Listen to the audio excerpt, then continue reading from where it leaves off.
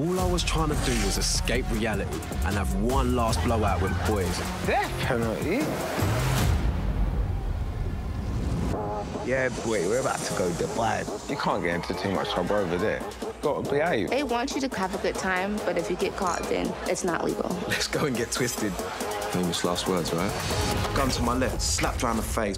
One of them naughty slaps people go. Three British men who were charged with drug offences in Dubai say they were tortured in custody.